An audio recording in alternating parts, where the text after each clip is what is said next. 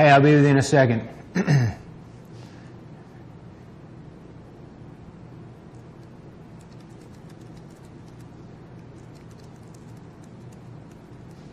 we live? Okay. Give me one second, everybody. Trying to put some final, final touches on.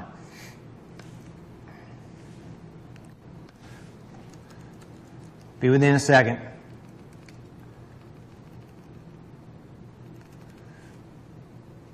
Going to send out the alert so people know.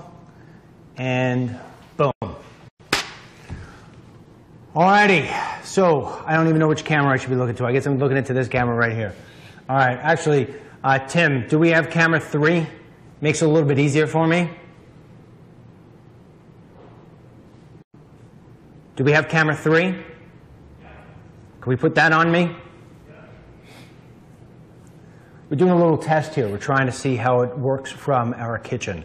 We've uh, been putting up cameras and lights all day. Um, unfortunately, we're running into a little bit of a, uh, a headache, if you will, with uh, some of the technology here. This shouldn't be the case, but it is. Um, anyway, so we're going to talk about a couple of different things today. Hopefully, maybe, uh, Harlan will be joining me because that was the plan. Uh, he's here in the building, and um, he's trying to fix some sort of audio problem, which shouldn't be a problem, but it is. So anyway, we're going to go over a couple of different things. First of all, uh, I need to give you a big, big, huge apology. In fact, I'll tell you what, Tim, before we get into that, while we let the crowd build here a little bit, why don't we do this? Why don't we show them our different camera angles? Let's go to camera number one. Okay. That's not camera number one. That's camera number one. There you go. So we're trying to incorporate the entire kitchen in here. And um, what's the story? I'm wireless, so um, I configured the XLR to work for me. It's a dedicated program. So you're wireless. What does that mean? I may cut out. Okay. Well, you might as well come on in because you got the schedule, right? So, To you too. so anyhow, so you can see, oh, now you're blocking me completely. So we got to move the chair back like we had it yesterday. Okay. So you can see we're trying to incorporate the entire kitchen in here for the walk and talk. We will have it here uh, period, at, at different times during the week. Um, uh, go to number two. Yep, then you'll see that will be my direct cam. And then go to number three. We got different shots here. We got this. Then let's get Harlan in there. There you go. Got a couple of spots there. So you see we're starting to uh, decorate the, the kitchen here with some of the goldfish uh, snacks that we have. We're also putting uh, some of the other different stuff that, that you have sent us. So between this and the new studio in there, we have it. Another part that we'll have in here, while I'm letting the audience uh, grow here, another thing we will have is uh, when I interview people here for the walk and talk, when I have guests come in, you will wind up seeing, we'll have another television, we'll bring in another television in here, so we'll have a television with me. And also, you can see uh, Priebus is still there. And uh, from time to time, we are going to read some of the emails in there. So let's, uh, let's, let's focus back in on Harlan for a second.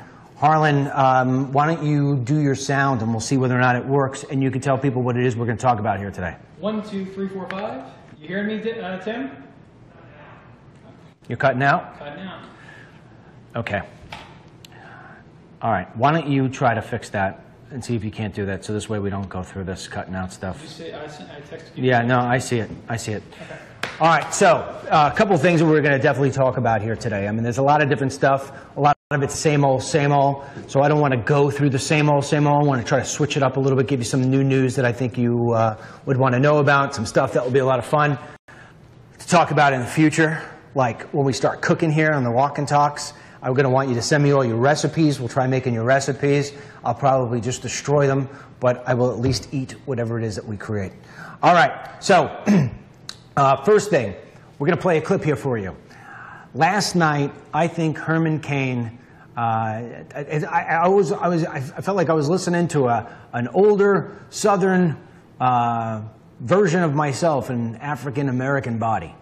Uh, I have been telling you for a while now that the way that we need to fight back and try to help uh, President Trump and help making America great again, trying to get our agenda through, all right, and get back on track instead of talking about all this Russia garbage, is that we need, the president needs to know, you know, that the American people who support him continue to support him, that we haven't lost our faith, that we understand the fact that some of this stuff that they're trying to, to bring up is just absolutely ridiculous.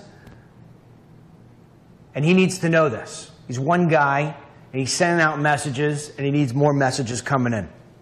So Herman Cain last night got on Sean Hannity's show, and he said something, and he gave out the phone number to the White House, which I think is great. So, Tim, if you got that clip, let's play that clip. And his administration know that the American people have his back. The liberal media doesn't have his back. We know that. The Democrats don't have his back. We know that. And even some Republicans, as you indicated, don't have his back. The American people has his back. So to the American people, you need to call 202-456-1111 and let the president know that we have his back. We are fighting back. Okay. Did you see that? That's go to camera three. I'm more comfortable camera three. All right. You need to call 202-456-1111. You need to call. All right? If you've got a phone call that you were going to make today to your cousin, you're going to make a phone call today to your friend, if you're sitting in traffic, I don't care what you're doing. You take the phone and you dial 202 456 1111. All right? And what you do is you tell the President of the United States that you are 110% behind him. Now, what we're going to do is we're going to call right now on my phone. All right? We're going to call. So give me a second. Let me get this thing on speakerphone. Oh my goodness, I'm so bad at using these things. Give me a second. How the hell do I get back to this? Keypad. How do I do this? One, two, zero, two. What is it? Four, five, six. Is it four, five, six? Four, five, six. One, two, three, four. Let's see what happens. It's busy. It's busy. Wow. That's the beautiful thing. It's busy. So you just keep on keeping on, okay? You drown, you drown that White House with phone calls today. You drown it today, you drown it tomorrow. You make it a news story. Make it a news story that the phone lines at the White House were crippled. Crippled. And I'll tell you why it's so important that you do this. I remember I was in a conversation during an interview for They Come to America too with Congressman Peter King. Uh, for those of you who've seen it, you know, you remember the scene, he and I in his office, we're talking about uh, the stuff that's going on in, uh, down at the border. And at the, end of the, at the end of the interview, we had the cameras rolling. Uh, in fact, Tim, Tim's dad, Tim's dad was my cameraman. And we had the cameras rolling, and I figured, you know, let me ask him some questions that are outside the realm of what it is that we've been talking about. And I said to him, Congressman, the American people are completely fed up with all of you in Washington, D.C. And he, yeah, I, know. And I said, you know, they feel as if nobody is representing them anymore. And he says, listen, they've got every single right to feel that way. What is the best way, Mr. Congressman, for Sally Jones and, and Billy Smith to get in front of you? What is the best way for the American who's frustrated, who isn't maybe a political wonk, uh, who is just so sick and tired of being sick and tired? What's the best thing? Is the best thing to get a picket and a sign and be in front of your in front of your building? I mean, because I don't think many people really like to do that to begin with. They don't have the time. Is the best thing to send an email? Is the best thing to send a letter? What is the best thing to do? And he said, honestly, I can't believe I'm going to be telling you to do this right now because I think it's going to backfire on me. I said, well, what is it? He said, you know, who people come to the office and they stand outside with a sign. He says, you know, they're otherwise annoying.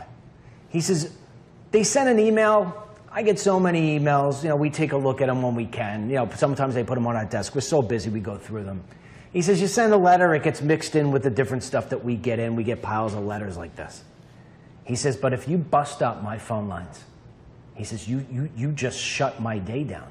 You shut my day down. If, I, if my, the people who are on my staff cannot operate, if the people on my staff are, are ready to pull their hair out because the phone will just not stop ringing, he says, that message is going to get to me because I'm going to ask I'm going to say, what the hell is going on? And I need to, what's the problem? Why aren't we getting communication back and forth? And so, what will ultimately happen is that he is going to address what it is that you, that you have a problem with. That's one thing you need to know. You need to know that you have to use the power you have, the cell phone or the house phone, and you need to call that number. You don't stop calling that number because I can tell you already, I assure you, that the President of the United States, no matter where he is in the world, he is going to get that message. Somebody from the White House is going to call and say, Mr. President, I just want to let you know that we uh, just can't, uh, the, the phone calls are coming in are literally breaking the system of support. And you know what President Trump's going to do? He's going to tweet about it. He's going to tweet about it. And he's going to thank Herman Cain.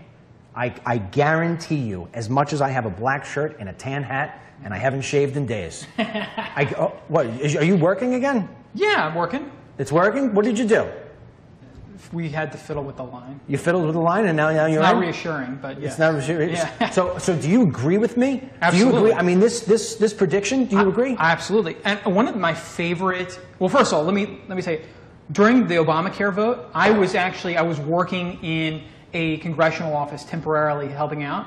Um, and it was a Democrat that was on the fence. He was like a blue dog, mainstream Democrat. He was socially conservative, you know. And, and he was on the fence. He was thinking about not voting for the Affordable Care Act, Obamacare. And he got so many phone calls in saying, if you vote for this piece of trash bill, this is back in you know 2009, 2010. If you vote for this, we're going to vote you out. And I could see the expression on his face. This is Congressman Larry Kissell. He's since been voted out because he decided to vote for it. He knew that it was a death march, that he was that he was it was a political death sentence. But and the reason he knew is because he was hearing from so many constituents that that was going to be it. Hold on a And-. You could just, just bring that stuff to the kitchen table. Don't worry about it. Just don't hit any of the wires. Don't hit any of the wires. And Just put it up over here. Ha, gotcha. That's my daughter there. I got you. My daughter just went out to go buy all the groceries. Yep, I got you. Dot, dot, dot. Hey, you got my credit card? Don't run off of my credit card. All right, oh, you got waters? All right. Anyway, all right, so let's get some of this stuff out of here. Well, I can tell you what, I know it works. I'll tell you why I know it works. I know it works also because years ago, years ago, the uh, there was a there was a uh, an event in Washington D.C. and uh, everybody wanted me to speak at this event, and uh, I wasn't getting an invite to it. And so finally, they, they met with me and they said, "Yeah, we're, we're, we're, we're, we're going to put you on." I said, "All right, fine." And then they came back and said, "No, we have no more room." Yeah. I went on. At this time, I didn't even have a million people like I have now. At that time, I had maybe a hundred thousand. I said, "Here's the phone number to the guy who just screwed me." Their phone number, uh, they lit up. Blew up. The guy called me at home and begged me, "Please tell the people to stop. You're Yep. shutting us down." Yeah. And I said, "You know what? I'm not telling anybody to stop. Obviously, they're very passionate about what it is that they want." Absolutely. Yeah. So anyway. Well, Anyway. One, of the, one of my favorite comments I just saw is that somebody suggested that they start doing this to CNN and the New York Times, demanding fair coverage.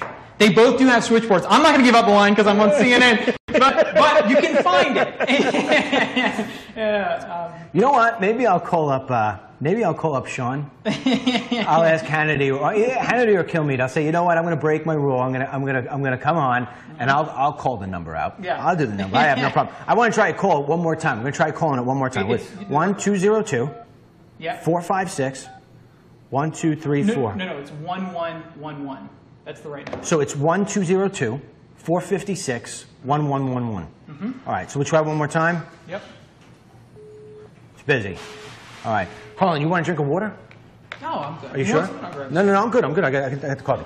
Okay, so anyway, so we told, we told you about that. So now you know the phone number. You got to call. You keep on doing it. You keep on doing it. You keep on doing it. We'll keep on reminding you. You know, Harlan, in fact, tomorrow night I'm going to do a, uh wine and talk. And uh, we'll bring it up and we'll try calling at nighttime. I'm sure we'll have a good time. I'm sure we'll get through it at nighttime. We'll have a good time. Can you imagine that, me calling during a wine and talk? right? I got to make sure that I, I limit the amount of wine that I have. Well, maybe I should. Maybe I should pour a little extra wine before I make the phone call. All right. Um, so anyway, let's, let's keep moving on. So the next, what, what else did we have here on the agenda that we were going to talk about? Uh, well, we had Comey, right? The Uh, Comey thing. So Comey. in terms of the New York Times? the New York Times and that clip of him from May 3rd, Okay. Let- he may have incriminated himself. yeah, let's do let's do the let's do the New York Times thing first. I'm a little familiar with this. Okay, I'll, I'll dive it into up? it. Yeah.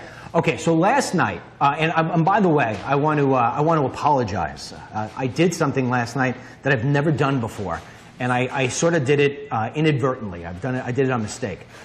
Well, I didn't do it completely on mistake. I did it not thinking, and and, and I want to apologize. Um, the last few days here have been absolutely insane, and they've been insane because the, um, the the news cycle, the breaking news that's coming on with the special prosecutor and all the different stories that are coming out, whatever. Then, of course, yesterday we had the New York Times, um, the, the, the, the New York Times, the Times Square fiasco. I mean, so we're going through all that. Uh, Harlan's sitting here trying to get, he's got a deadline to get all this stuff all up and running. I mean, he literally took everything down and put everything up. So he, he, when it comes to the website and getting stories out, he's useless to me in the sense that he's just so absolutely caught up with all this stuff. My son got delayed. He was supposed to be home in the beginning of the week. His car broke down as he was about to get on the, on the, on, on the uh, auto train. He got delayed, so I didn't have him. Anita is on vacation this week.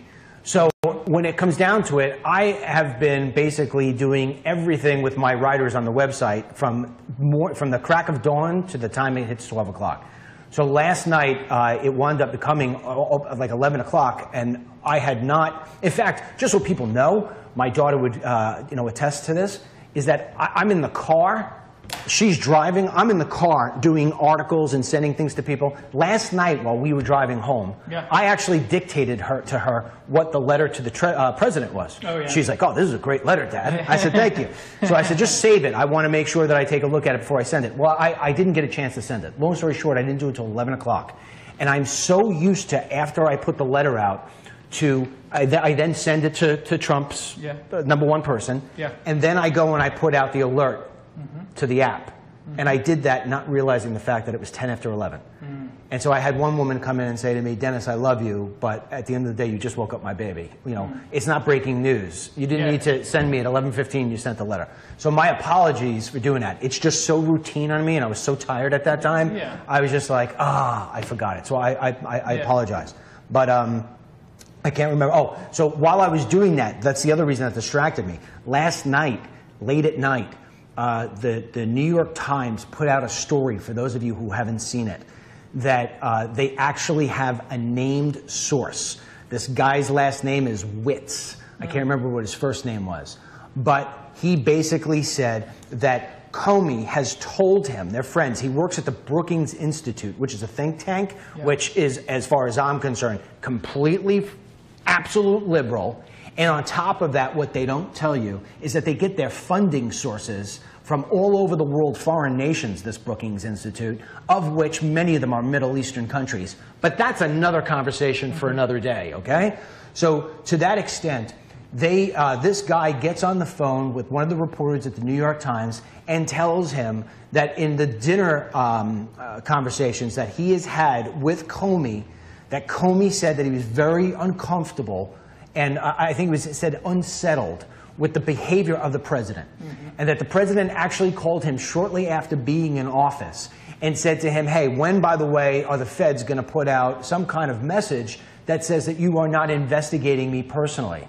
And Comey allegedly, from what he told this, from what he told Witz, is that uh, he said to the president, Mr. President, it is not appropriate for you to call me and ask what is the status of an FBI investigation. You need to go through the proper channels, which is that you need to go to the White House uh, counsel, Yeah. and they will therefore send me something Yeah. if they want to know, and if we want to respond and how we respond, we will. But this is not the way it works. And so he said that what he was trying to do, and that what he has been trying to do over the course of time, is bring the White House, a rookie White House, up to snuff in the sense that he was trying to like you know get them what the guidelines were. But at the same time he said like Priebus Reince Priebus also had asked. And so this was all coming through this guy Witt. And this guy or Witz or Witz Witzes I don't know how to say it. Yeah. but this guy tells the New York Times that Comey became very uncomfortable and all, all, like in a sense turned off mm-hmm. by Trump, like didn't want to be around him. That he actually tried to embed himself in the drapes, that big room that we always show in the B-roll. I think Tim has it. That's so Tim, you know that that B-roll that you have of Comey where he's walking across the room and, and then Trump's there and there's like the press there and stuff like that and he sort of goes to give him a hug. Do you got that? Take a look for it, see if you get it, and, and we'll play it. Tell me when you got it. I could hear you from, from the control room. Just let me know before you play it. So Mr. Wittes turns around and says that Comey, when he was coming across the room, you know, he could see that the gesture of Trump was that Trump wanted to give him a hug and that he didn't want to be anywhere near uh, President Trump and that he was trying to blend into the drapes so this way he wouldn't get picked off. So this is the message that he has given to this guy, Wittes, and Wittes said that basically uh, President Trump uh, made him feel unsettled. Okay, that was that story. And if we get it, we'll, we'll stop and we'll play it. You got it, Timmy, or no? Eh, don't worry about it. We'll move on. The, the other thing is people keep saying to remove the live sign. So Facebook has changed What's that? where they put the live logo. Where is Here- it- we don't have it on our screen. So Oh. if you guys are seeing that, it's No, I- covering Dennis's face. It's It's, on, it's on mobile. It's On like at the top of your head. Really? Yeah, it's in the What center of the is screen. wrong with them? Why do they keep? Why do you keep touching stuff, Facebook? I- Unbelievable. I, only say it because I keep seeing it. and People think that it's us, and it's it's not. All right, why don't you tell? I'm going to take a look at my cell phone. Yeah. Because I'll change my where my uh, seating is. Why don't you take over and explain to them? No, no, no. Oh, okay, Explain okay. to them about the next thing, about the, the thing with Comey while I take a look. Yeah, yeah. So the well, it seems like it's been a never-ending story with Comey. D- Tim, do I have a do I have a tight? Yeah. So it's been sort of a never-ending story with Comey, and it's a drip, drip. I feel like, and I'm going to get into this to this story. I feel as though Comey's started to be caught in a little bit of a lie. And it started out with them, eh, there's no question that he pushed this story through back channels about there being a memo in which he claimed that he was being compromised by the President of the United States. But we have a clip that has kind of taken the world by storm over the last 24 hours of Comey just days ago, on May 3rd, testifying in Congress saying that he had never been compromised by anybody at the White House, by anybody at the Justice Department. Now, Tim, let's play that clip, and I'm going to tell you why I feel like he's been caught in a lie. Senior officials at the Department of Justice opposes a specific investigation. Can they halt that FBI investigation? In theory, yes. Has it happened? Not in my experience, because it would be a big deal to tell the FBI to stop doing something that, without an appropriate purpose. I mean, we're oftentimes, they give us opinions that we don't see a case there, and so you ought to stop investing resources in it. But I'm talking about a situation where we were told to stop something for a political reason. That would be a very big deal. It's not happened in my experience. So, so Dennis, what Comey just said there days ago, this, and we have to put this into context, this testimony before Congress came after the supposed or the alleged memo in which he claims that the president uh, tried to compromise him. So, one of two things has happened. Either one, this memo doesn't exist, and this has been a total fabrication to try to undermine the president of the United States, or he perjured himself when he was under sworn oath to tell the truth, and he said that the President of the United States had never compromised him. So which one is it? Or, or there's a third one. Okay. You ready? If you are going to work for me, mm-hmm. you are no longer permitted to be on CNN. Right. Ultimatum. Okay. Ready for the next one? Yeah. I can't understand for the life of me why you continue to go on CNN. okay, now, if you want to take what I said on the second go Yeah. and try to make it as if I gave the same message I did on the first one, mm-hmm. you are misinterpreting. Yes. Because I'm not telling you, I can't tell you, per our contract, mm-hmm. where you can and cannot go. Mm-hmm. So why would I do that knowing that I can't do that? I can say to you, I don't know why you're going on there anymore. Big now, difference. now, internally, am I trying to send a little message to you? Maybe. Yeah. Maybe. But am I going to incriminate myself? Am I going to push the, envelope past something I'm supposed to and not supposed to do? No. Or maybe I just said it because I simply cannot understand Why you still go on CNN? So, so to that extent, Comey takes that Yeah. and understand something. I don't know what, what, what, where, where, where are we? All right, understand something. There is an old, there is an old saying that lawyers are spoilers. Okay, and the same thing comes when it comes to these FBI guys. They sit there and they're taking all their notes. If he's going to sit there and take every single last thing literally, and that's the way he's going to make his notes, okay, and he's going to take things out of context, well, then if you're reading the letter and that's what he's doing, what he's doing is he's taking the notes as in, Dennis no longer wants me to be Right. on CNN. I, I, no, I didn't say that. I said I can't understand why. That's the way Trump talks. Yes. So that's the third case scenario. So you've got what Trump did say, but it's completely misinterpreted in a way that now is making him look like he tried to stop an, an investigation. But the timeline's important. And this memo is said to have come quite some time before this testimony. So either he reconsidered what he wrote in that memo, or he perjured himself. If the memo is written as, as the memo claims it is. Do you, hear, you don't understand what I'm Yeah, saying? Yeah, but that, that's here's the problem. The missing part of all of this is Comey. Yeah. We don't, you know, Comey hasn't stepped up yet, mm-hmm. which I think is a little bit dirtbaggish, to be quite honest. Well, with you. why would he? What- He's getting what he wants, right? Attention. He's- He, he- and he's pissed off at his former boss. And, and he doesn't like Trump. I don't think he. yeah, I, I mean, it. it, let's say, for instance, the stuff that this guy Wittes just said. Yeah. You know, he doesn't like Trump. Yeah. Now you've worked with people before you don't like, Sure. right? But you still got to work with them. Yeah. You know, I, I've sat there before and said to my wife, "Listen, I can't stand being around this person. I got no choice. I got to be there. I got to do it. I mean, Yeah. you know, I can tell you that there were plenty of people at Newsmax I'd be like that. Sure. I, I, I'd be the first one to say it. Here you go. Here you go. I'll tell you right now. I hold nothing back.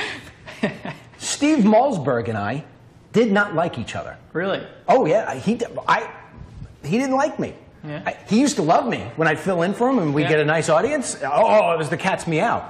But then when all of a sudden this started and I was the number one show, I mean, he literally. Oh, oh, I went up to him one day and said, "Hey, Steve, whatever." Huh. I, I said something else to him about something with Chris Christie, whatever. Huh. Two times. Wonder what? Oh, because I, he used to be the number one guy. Now I come and be the number one guy. Instead of being a team, it was Yeah, one to be you individualized. know. So, so I mean, literally, Yeah. you would walk into Newsmax and there would be the Malzberg side and there would be the Lynch side. Uh-huh. You know, now the good news is I held all the cards at that given time because I'm the one with the rating stuff. So he always felt as if you know, like, and I, I had, you don't want to talk to me, don't talk to me. Yeah. But, but the point being is that I would go home and I would say something to my wife like, I can't stand, I can't stand, and she'd say, Hey. He's in the same place you are. You guys are on the same team. You got to keep it together or whatever it may be. And you just get past that. I think Comey probably went along those lines. Mm-hmm. But here's the thing: you're talking. Even even though he doesn't like the president, even though he's pissed off, he got his job, he got fired. He has a responsibility as an American. Mm-hmm. He sees how much turmoil this is causing. He sees with all these different things. There's national security stuff at risk. Absolutely. And he's letting it go. All he'd have to do is put out a damn tweet. All he'd have to do is get on television one time. All he'd have to do is anything and just say, listen, I, the guy said it, and, and he said it in sort of, Well, you know, loosey kind of way. I don't really think he was trying to do anything. This is over. You know, should Trump have handled the firing differently? Because, you know what I'm saying? Because Comey was in LA, they sent a letter to his office in DC. He had to have one of his subordinates open the letter and read it to him over the phone. He found out originally through the news, like looking at TV, and thought it was fake. Like honestly, no, uh, you know, I'm a big defender of the president. I know what but you're saying. that's not real cool. Harlan, You know, The, uh, the fact of the matter is, is that the way that the president has gone about a lot of things yeah. Have not been the smartest way of going about it. I mean, uh, I, I actually last night I, I did. Last night I watched um, Fox News at 11 o'clock because I was trying to see whether or not they were doing this New York Times thing. Yeah. And and right before 11 o'clock, and Sean wasn't covering it. I guess he wasn't live. I have no idea. And uh, Tucker came on, and so I'm rewatching Tucker's opening statement from uh, 8 o'clock, and he said, he said, you know, the president isn't the best manager.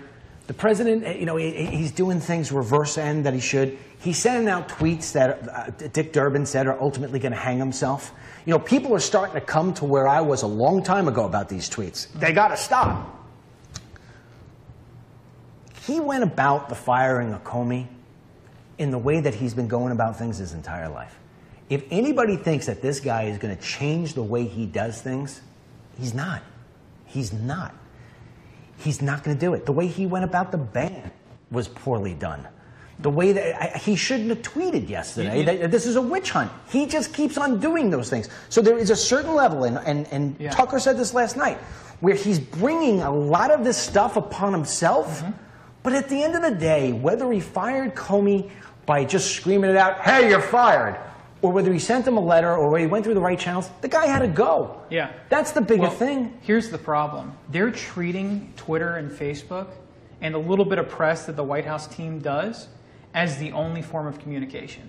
And when they do some, when they roll out a big thing like the ban, or they roll out a big news event like the firing of James Comey, they should have talking points ready, and they should have reasons for why they're doing these things, an explanation to the American people, and not just flying by the seat of their pants. It's not that their decisions are bad; it's that the rollout is really bad. And I'm not sure.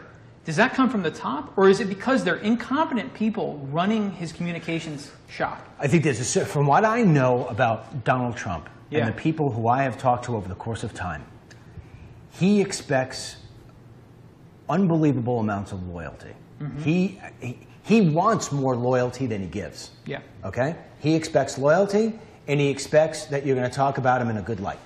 If you don't talk about him in a good light, go ahead, you go through the camera. Um, if you don't talk about him in a good light and you don't offer that ultimate loyalty, then he, he has a problem. I'll have a water too, bud. Then, then, then, he, then he has a problem. All right? Then he, then he gets off. Then he, then he gets off. I think that some of these White House staffers are a little bit intimidated Yeah. by not knowing what he's going to do next. They're all feeling like they're walking on a bit of thin ice. Like, I'll give you an example. The Kimberly Guilfoyle thing. Yeah. She says that she was talking to him about this press secretary thing.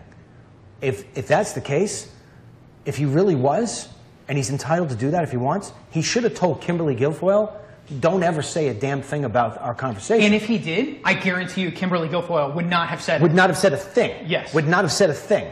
And now instead, what she's doing is she's loose lips and she's out there and she's doing all the different stuff. Oh yeah, blah, blah. and Spicer's like, wait a second, Yeah. nobody's telling me this stuff. So they're all walking around with eggshells. That ultimately is leadership. Yeah. That is leadership. Mm-hmm.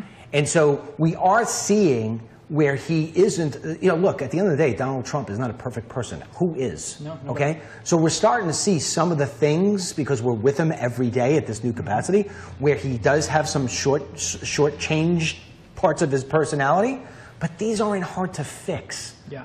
Like you said, let's get into yesterday, right? Yesterday, Harlan and I are talking, and we were sitting here strategizing about the shows because we're starting to get into this next phase of getting ready.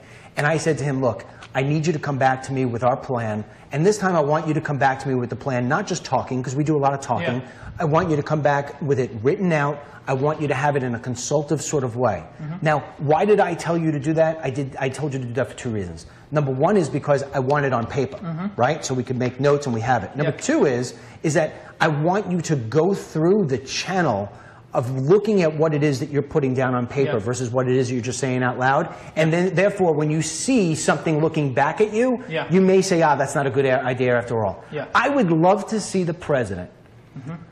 Slow down a little bit Yeah. and do that sort of thing, saying, okay, this is how it is that this stuff has to go. Yeah. What do you guys think? Or come to me and say, how should we put our communications out? Mm-hmm. How do you think we should go about it? And really sit there and say, I know that you may be telling me no more tweets. I want everybody to be honest with me and tell me ultimately how you'd like it to work. You know what the problem is? No one's ever figured out how to manage Donald Trump. You can't manage Donald Trump. That's I know that this sounds crazy, but that's that's an unusual thing. I mean, I can remember I was on a very big Senate race, and it was when I was just starting in politics, and the campaign the candidate was in the room, and it was a sitting U.S. senator, and I referred to him as boss. After he left the room, the the chief consultant said, "He's not the effing boss. I'm the quarterback, and he's the football." And we won the race in a landslide. It was a race we shouldn't have won to reelect this guy. And that changed my perspective. And I started to see this on a lot of successful campaigns and a lot of successful teams.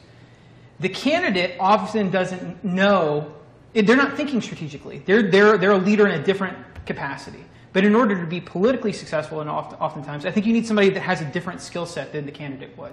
And that Trump, President Trump, has never found that person. And he, yes, he was he ran a successful presidential campaign, but nobody can manage him. And I think that he needs help. You know, I, for the, uh, no disrespect to you, Yeah. I, I think the word manage him comes out wrong. I don't mean But I know exactly what you're talking about. Yeah. See, what, what you're saying is that the president is never going to get into the nuances. He's never going to get into the nitty gritties. Yeah. He's, he's just not going to do that. Yeah. He is the spokesperson for the policy. He is the salesman. He really is. That's what the, he is the salesman. Mm-hmm. Yes. Right? For many of the things that have to go on. Yeah, at the end of the day, he's the decision maker. That's another thing. No, but, no question. But what, what we're talking about here is that, let's say, for instance, let's say, for instance, the president were to pick me. Mm-hmm. All right? I would sit there and be like, okay, this is the way our messaging has to be. Yeah. All right? We are not, and he's not in the room. Right? Yeah. So it's all of us. It's what? The 3,000 people and all of us. We're sitting around. We're in a room. We're in a big auditorium. And I'm up on there and I'm going to ask raise of hands, right? How many people? And I want you guys to use the like, uh, the little buttons if you like it. I'll be able to see it as it floats by. I don't know. Did they take that away? I don't even see that stuff anymore. They're messing with it. They're messing with this this stuff, right? I don't know why. Okay, so we're all sitting in a room. I'm sitting in the room with you guys. And I say, here's the way that it should happen. We are not going to have the president stop tweeting because that's going to take the life out of him. That's, that's why we ran a poll today. Should he stop tweeting? Should he continue to tweet? Or should he tweet like DML has said, just about the issues? Okay? 80% of the people, I think, at this point have taken that poll said, listen to what DML is saying. Keep tweeting with the issues. If we take away his Twitter, it's like taking away the beach ball from the little boy, okay? And I don't mean any disrespect in that. I'm just using an analogy. What we have to do as a team here, a communications team, is we need to help him get this message out, and we have to do it in the right way. He needs that tweet. He needs to see how many people share the tweet. He, this is why it was so important to him, Harlan, how many people showed up to the inauguration. This is why it's so important to him what his ratings are on television. He needs that. That's his fuel.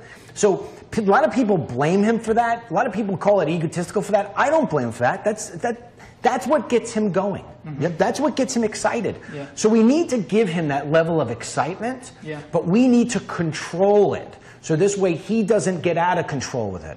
So what we do is we're going to form that message every day. We're going to go to him with a couple of different tweet ideas and say, Mr. President, what do you think about these different tweets that go out for the day? When he picks the one that says, I want to send out a tweet that says, Comey is a loser, we say, Mr. President, the backlash, and this is where I don't think this, what I'm saying right here, happens. Mr. President, the 3,000 of us have been together, and we've been thinking about this. And if you do go with the Comey is a loser, the one that you suggested, we did a raise of hands, and 2,900 of the 3,000 people that were in the room think that that's going to come back and hurt us later on. Yeah. We don't think we should do that. If you need to put something out to that this degree, why don't we put something out that says, you know, it's really important for the intelligence community and the White House to have a cohesive relationship. We need to move in that direction. Why don't we do that? Well, I'm with you. It- it- and, and- and you got to make him see the light. I, I don't, know think that's happening, Harlan. It's No, coming it's- out no, this it's way. certainly not happening. It's, it's, me say, it's me saying to you, put out a tweet today that says, Facebook sucks, I want it to die. And it's like you going away saying, oh my goodness, and this guy So- wonders why he can't get his numbers up. So- so- you, you know, So do you think that the people that are currently in the White House, because there are smart people in the White House, including Ivanka and Jared, or do you think that they're unwilling to confront him with these mistakes? Yes. Like the tweets? Yes. So, okay, so you, you, you don't think that they're in there telling him this all the time and he's just not receptive to it? be- there was somebody on television the other day. I can't remember who it was. It was a pro-Trump guy. Yeah. Uh, I think it was. Uh, I can't remember what it was. It was a clip. It was sent to me. It was sent to me, The guy said the problem is is that when you go into the White House, everybody's walking around. There's no coordination, whatever, and it's like people are walking around the tr- with the President Trump like Mr. Magoo to make sure he doesn't do something that's just crazy off the wall. And I was like, wow, that, if that's really the way it's happening in the White House, that's a little scary. And they said, and then they were talking about it. He said, no, I, I, I just because they don't know what he's going to do next. Mm-hmm. And going back to where I was trying to make the example, maybe I didn't make it good enough. There's no process. There's no way of getting the communication out based on a process. But see, th- the process before the commu- wait before the words could go out, the outline has to be there. There's no outline, so Ivanka can't be at his side every single time. Yeah. So if he's sitting there and you're next to me, Yeah. and, I, and I say to you, "All right, Harlan, uh, uh, we're going to send a tweet right now because I'm reacting off Fox News, Mm-hmm. right?" And, and I say, "Oh, send out this tweet right now. Comey is a loser." Mm-hmm. What happens is that person is afraid Yeah. and they put it out. There's no red alarm. There's somebody who's got to sit down with him and say, listen to me. This is, uh, actually, let me just go on my soapbox for one more second because I want to say this. I thought about this the other day and then I hand it over to you. If I had the chance to sit with the president mm-hmm. for, what, for, for five minutes, mm-hmm. I, I, what would I do? This is what I would say to him. I only got five minutes. He says to me, Hey, listen, you've been sending me these letters. Everybody keeps on telling me I got to meet with you. Why do I got to meet with you? I am not going to sit there and say to him, You know, uh, it would be really su- a good suggestion if you did mandatory e verify right now. I'm not going to waste my time with that. I got to get in the door. So the way I'm going to get in the door is I'm going to look him straight in the eye. Straight in the eye. I'm going to say, Mr. President, I truly believe that you can make America great again. I truly believe that you can have your face up on Mount Rushmore, which will stay with, with this world long after you're gone. But if we don't change certain things, little twists here, little twists there, we're never going to wind up having you on Mount Rushmore, let alone getting you into your next four years. And what's going to happen is long after you're gone, people are going to be joking about you. And nobody's ever going to think about the buildings you made. Nobody's ever going to think about the golf courses you, you, you built. Nobody's going to ever be uh, crediting you for the wonderful children and grandchildren you have. They're always going to look back, and one thing's going to be remembered Donald Trump was a joke of a president. That's not what you want your legacy to be. And there is a fine line right now between having your presidency be a joke and having your presidency be one that is worth Mount Rushmore. And what we have to do is control the narrative. If we could control the narrative, we will win this game. And the way that we control the narrative is we beat them with results and we beat them with messaging that people want and they cannot deny. That's not what's happening right now. And I can help you do that better than anybody else because here's the thing, Mr. President. I think like you. I act like you without some of the, the, the haywire stuff. I understand these problems and these issues. We think alike when it comes to it on how to fix it. And here's the biggest thing I'm not intimidated by you. So when I see that you are going to put out something stupid like Comey sucks, he's a loser, I'm not going to allow Harlan to hit the send button. If you want that send button hit, you're going to have to fire me first. I'm done. Yeah. I walk out of the room, and you know what Ivanka says? How much does he want a year? That person, that person, it doesn't have to be me. That person who says that to him, Harlan, Yeah. we're in. Nobody says that to him. Yeah. I believe, I think people are saying it to him. You do. Yeah. Okay. Who, and I and I believe who, who's who's the who, who's who's the president listening to? Who's saying that to him? I'm. sh- I want a name. I find it impossible to believe. Who, give me the name. I'm sure Kellyanne Conway's done it. I'm sure. I'm sure Steve Bannon's done it. I mean, I, look. I'm sure that Manafort did it back during the campaign. I, I'm sure. Well, I don't know about Corey, but I'm sure people have brought this up to brought this up to him. How could they not? How could they not? I don't think so. Well, then he's he's then then this undermines one of his primary talking points when he was running for president, which is that he knows to go out and he knows how to hire the best people. I don't think he knows how to hire the best people. Well, that- I mean, I have never that- that was a agreed. big. I have never agreed with that. I have met some of the people he's hired. Mm-hmm. I don't think that. Yeah. You're going to tell me Roger Stone is one of the best people you can hire? You're going to tell me Manafort is one of the best people you can hire? You're going to tell me Corey Lewandowski is one of the best people you can hire? You know, uh, with with Manafort and Michael Flynn's turning out to be not one of the best people that you can hire. with Manafort and, and with Roger Stone. Well, Manafort's a little bit more credible than Roger was, but they were part of the Me, to, campaign. to me, I thought Manaf- were- Manafort to me was a, a, a used car salesman at the worst end. They were part of the uh, Reagan's 1980 campaign, and I think that they're effective communicators, and that's how they got their start. And I think that they're actually they have solid political instincts that a lot of other people don't. Um, and, and I don't believe, I do not believe President Donald Trump would be president of the United States today if Roger Stone hadn't been his um, consultant uh, in the early days of the I, campaign. I, I completely disagree with I you. I don't even think he would have run for president. He, he would not have been president today had Kellyanne Conway not been hired. Well, that's so, true. so let me say let me say this. Yeah. I don't think all of his hires suck, but I don't think all of his hires are all great. You know, you can't say that he surrounds himself with only the best of the best. I think what he does is he surrounds himself with people for whatever reason that he thinks can offer him something. And then when some of these people turn out to be a little shady, or they turn out to be not so great, or he's not exactly uh, thrilled with some of the things he says, he dumps them. Kellyanne Conway, Harlan, Yeah. saved, Well, there's no question. and Bannon saved that thing. After no Manafort, question. I think that thing was ready to blow up. There's no question, but I think there's a time. At, well, look, Manafort was important. I mean, there's a time for everyone, and Manafort was important to securing the nomination as they were going through the process of getting the delegates. And look, for a while there, it seemed like Ted Cruz's campaign was positioning itself to challenge him and to upend the rules at the. Air. So my point is, mm-hmm.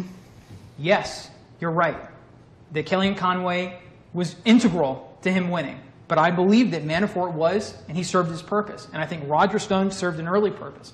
And one, one of my big takeaways from studying secretaries of state, or, or sorry, excuse me, chiefs of staff, is that they need to know the president's weakness. Yeah, And- I just gave it to you. Well, I, you know, you could look at, at President Ford. Two of his chief of staffs were Donald Rumsfeld and Dick Cheney. Mm-hmm. Two extremely powerful, no BS guys. And one of Ford's biggest problems is he's a former legislator, and so he wanted to meet one on one with every person. And they realized that that was impossible and that they had to manage his time better. And they, so they stood up to him to do it. One of President Donald Trump's biggest problems is that he wants to over communicate. And he feels as though that's been justified because he won the presidency. But I feel like in many cases he won the presidency in spite of that. And so, and nobody's talking about taking the Twitter away from him. It's just, as you said, going through a process. But, and I know you don't like that word, managing, but that's what this is. It's, it's, it's having the guts to stand, to stand there with the president and say, look, Mr. President, you trust my instinct. That's why you hired me. And, and, and I'm willing to put my job with you on the line because I think it's that important that you not make a mistake. I agree with you when you're saying about finding what his weakness is. Yeah? I think his weakness is, and I don't even know if it's a weakness. He has, it's it's it's it's not what makes him weak. It's what makes him empty. You know, he said that Comey is a showboat, and I don't mean this with disrespect, but you know, look in the mirror, Mr. President. Mr. President loves the camera.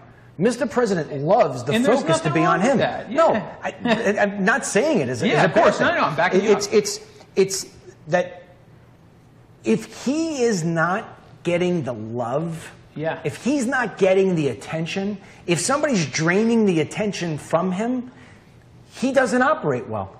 I, I'm, this isn't something new for me. I've known this all along. He needs to be the guy in the room who's getting the cameras on him. So to manage that weakness, if you will, if you want to call it a weakness, it also happens to be a strength because when he says something, people want to listen. Yeah. They want to listen either because it's it's uplifting, it's either funny, it's either not said correctly. I mean, I'll give you an ex- perfect example. You know, yesterday he put out a tweet. You know, I got the same problem. I, I, I misspell things all the time. You know, there was the, the tweet council was spelt was spelt with a C instead of an S. Mm-hmm. You know, he's got this way of saying things that are so imperfect. Mm-hmm. And so people are just entertained by it. They're Yeah. ent- entertained by it, they're encouraged by it, they're lifted by it, and sometimes they're ready to fight because of it. That is, the fact that the president can get attention to himself is fantastic. We just got to make the attention the right way. The fact, in my letter last night, I sent to him yesterday, there was a report that 17% of our workforce here in the United States, 17% is foreign born. The fact that that isn't tweeted out, if you want to tweet out a negative, and we're tweeting out witch hunts, is beyond me. Secondly, the unemployment rate hit a 30 year low yesterday. Why aren't we tweeting that out? Yeah. That's what we should, that's the narrative. Why isn't MSNBC, CNN, and, and ABC, NBC, CBS opening up their shows? Can you imagine if it was Obama? I don't even know who CBS News is, but whoever the commentator is, it should be like this. Today there was a report out. We have now hit a 30 year low when it comes to unemployment, thanks to President Trump. If it was Obama, it would say President Obama walked into office and he had a terrible thing left over for him from President Bush. But within four months, he has now taken the unemployment rate to the best rate it has been in 30 years. Thank you, President Obama. They're not doing that. They're not doing that because Trump, Trump, first of all, because they want to talk about Trump getting whacked at the knees. But secondly, and this is where I think the communication team is missing, the communication team has to take something as boring as unemployment rates and bring it into some sort of excitement. And they don't got that creativity. They don't got that creativity. They should be banging that drum and banging that drum and banging that drum. If we were in, if we were in the communications team, I'd say to you, you know what, Har- uh, Harlan? Let's get one of our video guys here in, in, in DC. Let's go find somebody, man. Let's go find somebody Yep. Who was unemployed, got a job. Let's get him a Democrat and bring him to the White House for dinner Yeah. and they're going to get to eat with the president and Melania, and we're going to film the whole damn thing. That will get the news, and it will, that will get the news, and it will be about the unemployment. And then you're going to get a Democrat saying to the president, "I wasn't able to pay my bills for the last seven years, Mr. President, and now I can. Thank you very much." Right. That's what you do, and nobody in there is doing it. Not Kellyanne Conway, not Sean Spicer, not Reince Priebus, not anybody. All right, what else you got? Because we're running out of time here. 1222. Yeah, yeah. Um, By the way, I don't know if you guys like the new logo. I love the new logo. I love the new logo. I love the way it looks on the screen. Uh, we're going to have a little tagline. We're, we're, we're jumping around with different ideas, but right now it's sort of we're thinking real news all the time. And so that's uh, and I'm going to have Harlan make some really cool things where the clock spins, and he doesn't know it yet, but he's going to be busy working on this stuff. always. All right, what else How- we got? Well, so we had that, that article on DennisMichaelLynch.com about Trump going easy on Iran. I hate to pile on it here, but I know this is something that People will be interested in. I, you it, it got it got buried. It got buried. what it got buried in, in what the, the news of the last 24 hours. From, Absolutely, it got buried. Yeah. so I mean, how much do we know about that? I mean, it, Actually, you know what we should do? I'm gonna Yeah. I'm gonna push that off to wine and talk. I'll tell you what, Okay. because I don't want to pound on them. Let's come away. One of the things that we get criticized from from our folks here is Yeah. they want some uplifting stuff. That's that that's uh, Yeah. that, that's coming that's coming through. So what, we have anything on our list that's we, uplifting? we hit, we touched everything. We touched everything on. I mean, the other thing was stocks are rebounding, but that's great. that's great. Let's Yeah. talk. Let no. I think that's very important. Yeah. I think that's very. Well, I, you know, I looked, I looked at my portfolio. Yeah. And in the last 45 days, it's up 50%. Really. it's just like President Trump's like the best thing to ever happen everybody's making money. Everybody's making money I on President Trump. yeah. Everybody's making. Everybody's making money. it's crazy. on President It's Trump. crazy. Yeah, I mean, listen, everybody's making money on him. You know, it's it's. But here's the thing. Here's the important thing. All right, I don't know which camera I'm looking at, Yeah. uh, but actually, if you could, Tim, use camera three because I want to read some of these comments before we jump off here. Um, so. Uh, you know what happened was is that the stock market has been on this crazy great run and the reason why it's on this crazy great run is because the stock market is based on futures on future earnings so if companies are feeling very good about where things are going meaning deregulation is taking place new tax reform is going to be in place obamacare which is a job killer is going to be replaced And they believe that this whole pro-Trump, pro-business agenda is going to get through. They're not like you and I where they want it yesterday. They're banking on is it going to be in 12 months? Is it going to be on 18 months? Because my business is going to be able to get better. It's going to be more growth. That is ultimately what brings up a stock because of positive outlook. Okay.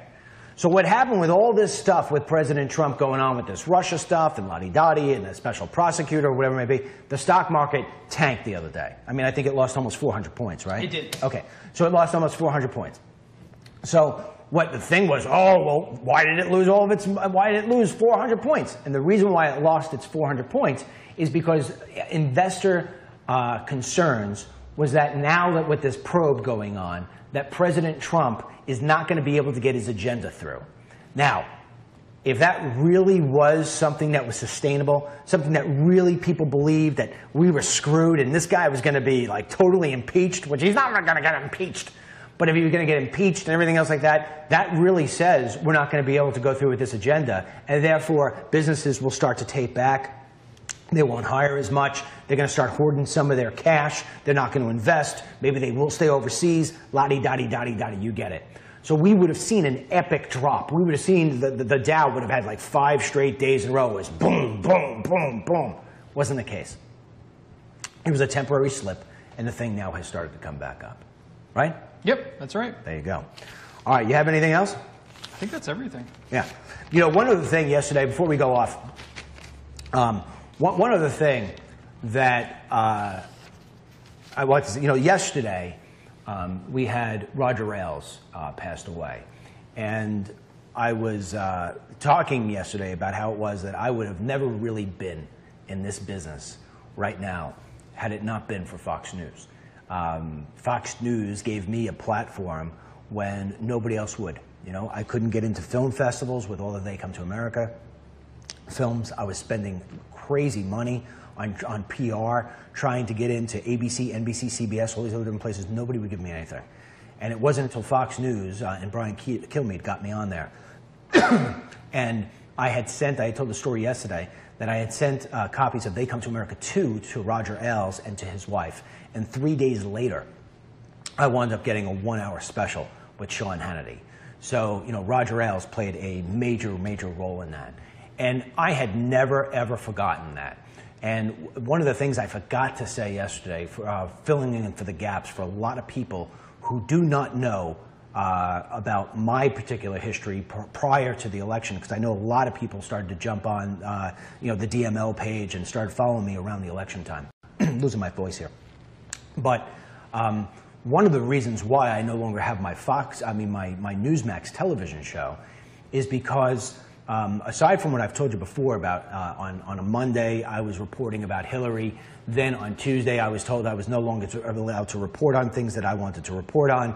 And then on Wednesday, um, I, I, they pulled me off the show with Harlan being my guest, sitting across from me like he is now. They pulled me off the show while I was giving uh, a monologue about how I was uh, not going to agree not to report things about Hillary Clinton. One of the other things that what happened that day, which triggered me off going into that direction, was that the CEO of Newsmax, Chris Ruddy, um, wanted me to play a hit piece about Roger Ailes. And there was no way um, that I was going to play a hit piece about a man who um, really gave me uh, the sort of opportunity that nobody else uh, would have given me. And, uh, you know, that, that's, that's that. I mean, whatever he did on this other stuff, whether he did it or he didn't do it, whatever. But you cannot take away uh, from this man of the incredible things Yeah. he did, especially when it comes to America. I don't think people understand how important Roger Ailes was. Prior to Roger Ailes starting Fox News, conservatives did not have a voice on television. It, was, it was left, and there was nothing else. Yeah. And thank goodness. I mean, George Bush Sr. came about and said that he doesn't think he would have been president had it not been for Roger Ailes. So keep that in mind. All right, so I'm going to end off on this. It's 1229. We're going to go exactly one hour, and that's it. Um, Uh, I guess uh, the important thing here is to tell you that tomorrow night we will have our wine and talk. I'll probably do that sometime around 8 o'clock. Keep on going to DennisMichaelLynch.com all day. We've got great articles. My son is now uh, back, and he's spearheading a lot of that stuff. He's a talented guy. Uh, we're training a lot of stuff there. If you haven't gotten the DML app, you got to get the DML app. I mean, yesterday uh, I got a lot of emails from people coming in saying, DM, DML, you were in front of all this news all day long and everything. Thank God I had the app. I mean, this thing is the best thing in the world. If you don't have it, please go get it. You get it by going to the iOS store or you go to the Google Play store, you search for DML app, you download it, you put the notifications on, and periodically, once a year, I'll, I'll send you a notification at 11.15 at night. But most of the time, that's what I said last night. But most of the time, uh, we just we do it a couple times during the day with breaking news. Other than that, you're always going to have stuff going through the app, whatever. And um, so let us know what you thought about the kitchen setting here. All right, did you like it? Uh, let us know what you think about the new logo. Do you like it? Um, be delicate because my daughter came up with it and I also loved it. Once I saw it, I said, that's what I want. So anyway, we've got it. So you do that by you go up to the top uh, and, and you use the submit news uh, button and, uh, and send us something from there. So each day that I do this, I, I make sure, I, am not going to read the Priebus stuff today because we, we waited too long, but I will go and read some of your stuff here because uh, Miss Mary tells me I have to all the time. Uh, here we go. You love the kitchen setting, Teresa says. Thank you very much. Whoa. Uh, whoa, Roxana, that's not going to work. next, who do we have next? All right, so we have Love the Kitchen. Kitchen yep. Sound is great. Yeah. We've got Love It All. No Lieberman for FBI, okay? Uh, that may be something that we talk about tomorrow. Great, great walk and talk. Love the kitchen setting. Love the kitchen setting. Why not uh, free Soros? DML, thank you for your far left media. is trying to bring us down. I like both. Love the kitchen setting. Like the logo and the setting. Fantastic. All right. Looks like everybody's happy. We thank you very much. Okay. Until tomorrow night, may God bless you. May God bless our troops. May God bless the President in these United States. And may God bless Harlan Hill for fixing his sound. and Tim for fixing the cameras. And my daughter for bringing us the waters. Yes. All right? All right. Over and out.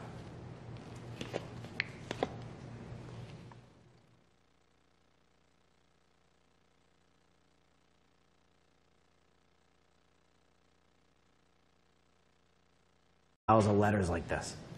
He says, but if you bust up my phone lines, he says, you, you, you just shut my day down. You shut my day down. If, I, if my, the people who are on my staff cannot operate, if the people on my staff are, are ready to pull their hair out because the phone will just not stop ringing, he says, that message is going to get to me because I'm going to ask. I'm going to say, what the hell is going on? And I need to, what's the problem? Why aren't we getting communication back and forth? And so what will ultimately happen is that he is going to address what it is that you, that you have a problem with. That's one thing you need to know. You need to know that you have to use the power you have, the cell phone or the house phone, and you need to call that number. You don't stop calling that number because I can tell you already, I assure you, that the President of the United States, no matter where he is in the world, he is going to get that message. Somebody from the White House is going to call and say, Mr. President, I just want to let you know that we uh, just can't, uh, the, the phone calls are coming in are literally breaking the system of support. And you know what President Trump's going to do? He's going to tweet about it. He's going to tweet about it. And he's going to thank Herman Cain. I, I guarantee you, as much as I have a black shirt and a tan hat, and I haven't shaved in days. I, oh, what, is, are you working again? Yeah, I'm working. It's working? What did you do? We had to fiddle with the line. You fiddled with the line, and now, now you're It's not in? reassuring, but yeah. It's not reassuring. Yeah. So, so do you agree with me? Do you Absolutely. agree? I mean, this, this, this prediction, do you I- agree? Absolutely. And one of my favorite. Well, first of all, let me let me say, during the Obamacare vote, I was actually I was working in a congressional office temporarily helping out, um, and it was a Democrat that was on the fence. He was like a blue dog, mainstream Democrat. He was socially conservative, you know, and and he was on the fence. He was thinking about not voting for the Affordable Care Act, Obamacare. And he got so many phone calls in saying, if you vote for this piece of trash bill, this is back in you know 2009, 2010. If you vote for this, we're going to vote you out. And I could see the expression on his face. This is Congressman Larry Kissell. He's since been voted out because he decided to vote for it. He knew that it was a death march. That he was that he was it was a political death sentence. The XLR to work for me. It's a dedicated So you're wireless, what does that mean? I may cut out. Okay. Well, you might as well come on in because you got the schedule, right? So, so anyhow, so you can see, oh, now you're blocking me completely. So we got to move the chair back like we had it yesterday. Okay. So you can see we're trying to incorporate the entire kitchen in here for the walk and talk. We will have it here uh, period, at, at different times during the week. Um, uh, go to number two. Yep, then you'll see that will be my direct cam. And then go to number three. We got different shots here. We got this. Then let's get Harlan in there. There you go. Got a couple of spots there. So you see, we're starting to uh, decorate the, the kitchen here with some of the goldfish uh, snacks that we have. We're also putting uh, some of the other different stuff that, that you have sent us. So between this and the new studio in there, we have it. Another part that we'll have in here, while I'm letting the audience uh, grow here, another thing we will have is uh, when I interview people here for the walk and talk, when I have guests come in, you will wind up seeing, we'll have another television, we'll bring in another television in here, so we'll have a television with me. And also, you can see uh, Priebus is still there. And uh, from time to time, we are going to read some of the emails in there. So let's, uh, let's, let's focus back in on Harlan for a second. Harlan, um, why don't you do your sound and we'll see whether or not it works, and you can tell people what it is we're going to talk about here today. One, two, three, four, five. You hearing me, uh, Tim? You're cutting out? Cutting out. Okay. All right. Why don't you try to fix that and see if you can't do that, so this way we don't go through this cutting out stuff. say, I, I. Yeah, no, I see it. I see it. All right, so uh, a couple of things that we're going to definitely talk about here today. I mean, there's a lot of different stuff. A lot of it's same old, same old. So I don't want to go through the same old, same old. I want to try to switch it up a little bit, give you some new news that I think you uh, would want to know about, some stuff that will be a lot of fun to talk about in the future, like when we start cooking here on the walk and talks. I'm going to want you to send me all your recipes. We'll try making your recipes. I'll probably just destroy them, but I will at least eat whatever it is that we create. All right, so uh, first thing, we're going to play a clip here for you. Last night, I think Herman Cain. Uh, I, I, was, I was, I felt like I was listening to a, an older Southern uh, version of myself, an African American body. Uh, I have been telling you for a while now that the way that we need to fight back and try to help uh, President Trump and help making America great again, trying to get our agenda through, all right, and get back on track instead of talking about all this Russia garbage, is that we need, the president needs to know, you know, that the American people who support him continue to support him, that we haven't lost our faith, that we understand the fact that some of this stuff that they're trying to, to bring up is just absolutely ridiculous. And he needs to know this. He's one guy, and he's sending out messages, and he needs more messages coming in. So Herman Cain last night got on Sean Hannity's show, and he said something, and he gave out the phone number to the White House, which I think is great. So, Tim, if you got that clip, let's play that clip. and his administration know that the American people have his back. The liberal media doesn't have his back. We know that. The Democrats don't have his back. We know that. And even some Republicans, as you indicated, don't have his back. The American people has his back. So to the American people, you need to call 202-456-1111 and let the president know that we have his back. We are fighting back. Okay. You see that? That's go to camera three. I'm more comfortable camera three. All right. You need to call 202-456-1111. You need to call. All right? If you've got a phone call that you were going to make today to your cousin, you're going to make a phone call today to your friend, if you're sitting in traffic, I don't care what you're doing. You take the phone and you dial 202 456 1111. All right? And what you do is you tell the President of the United States that you are 110% behind him. Now, what we're going to do is we're going to call right now on my phone. All right? We're going to call. So give me a second. Let me get this thing on speakerphone. Oh my goodness, I'm so bad at using these things. Give me a second. How the hell do I get back to this? Keypad. How do I do this? One, two, zero, two. What is it? Four, five, six. Is it four, five, six? Four, five, six. One, two, three, four. Let's see what happens. It's busy. Busy. Wow. That's the beautiful thing. It's busy. So you just keep on keeping on, okay? You drown, you drown that White House with phone calls today. You drown it today, you drown it tomorrow. You make it a news story. Make it a news story that the phone lines at the White House were crippled. Crippled. And I'll tell you why it's so important that you do this. I remember I was in a conversation during an interview for They Come to America Too with Congressman Peter King. Uh, for those of you who've seen it, you know, you remember the scene, he and I in his office, we're talking about uh, the stuff that's going on in, uh, down at the border. And at the end of the, at the, end of the interview, we had the cameras rolling. Uh, in fact, Tim, Tim's dad, Tim's dad was my cameraman. And we had the cameras rolling, and I figured, you know, let me ask him some questions that are outside the realm of what it is that we've been talking about. And I said to him, Congressman, the American people are completely fed up with all of you in Washington, D.C. And he, yeah, I know. And I said, you know, they feel as if nobody is representing them anymore. And he says, listen, they've got every single right to feel that way. What is the best way, Mr. Congressman, for Sally Jones and, and Billy Smith to get in front of you? What is the best way for the American who's frustrated, who isn't maybe a political wonk, uh, who is just so sick and tired of being sick and tired? What's the best thing? Is the best thing to get a picket and a sign and be in front of your in front of your building? I mean, because I don't think many people really like to do that to begin with. They don't have the time. Is the best thing to send an email? Is the best thing to send a letter? What is the best thing to do? And he said, honestly, I can't believe I'm going to be telling you to do this right now because I think it's going to backfire on me. I said, well, what is it? He said, you know, who people come to the office and they stand outside with a sign. He says, you know, they're otherwise annoying. He says, they send an email. I get so many emails. You know, we take a look at them when we can. You know, sometimes they put them on our desk. We're so busy, we go through them.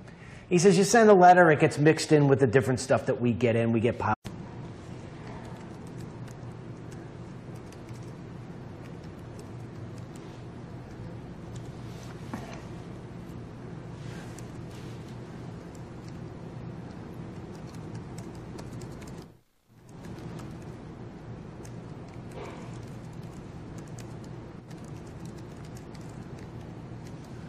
Hey, I'll be with you in a second.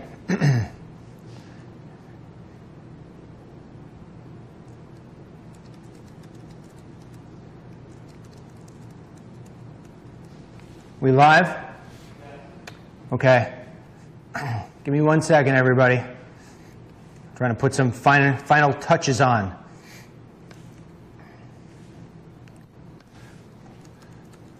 Be with you in a second.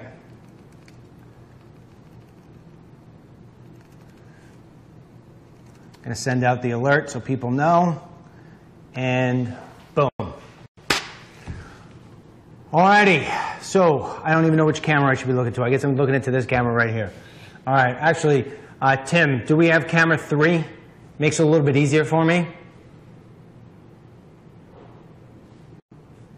Do we have camera three? Can we put that on me? We're doing a little test here. We're trying to see how it works from our kitchen. We've uh, been putting up cameras and lights all day. Um, unfortunately, we're running into a little bit of a, uh, a headache, if you will, with uh, some of the technology here. This shouldn't be the case, but it is. Um, anyway, so we're going to talk about a couple of different things today. Hopefully, maybe, uh, Harlan will be joining me because that was the plan. Uh, he's here in the building and um, he's trying to fix some sort of audio problem, which shouldn't be a problem, but it is. So anyway, we're going to go over a couple of different things. First of all, uh, I need to give you a big, big, huge apology. In fact, I'll tell you what, Tim, before we get into that, while we let the crowd build here a little bit, why don't we do this? Why don't we show them our different camera angles? Let's go to camera number one. Okay. That's not camera number one. That's camera number one. There you go. So we're trying to incorporate the entire kitchen in here. And um, what's the story?